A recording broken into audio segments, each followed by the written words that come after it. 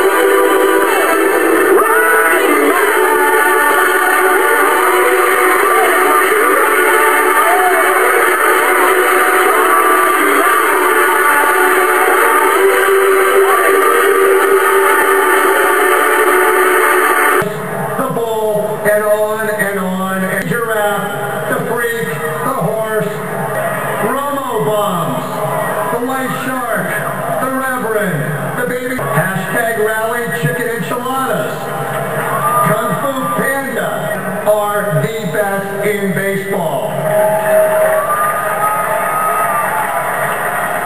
In his years with the Giants, he has built a baseball operations department that's a model for scouting and analytics and player development, instructional academies, training, and conditioning. One national writer observed, whatever goes on in the San Francisco clubhouse, it's not like the rest of baseball. Well, I have something to add to that. I would say that whatever goes on in our front office also is not like the rest of baseball. A championship team has an architect, and our general manager, Brian Sabean, and his incredible staff are the best in baseball. In his years with the Giants, he has built a baseball operations department that's a model for scouting and analytics and player development, instructional academies, training and conditioning.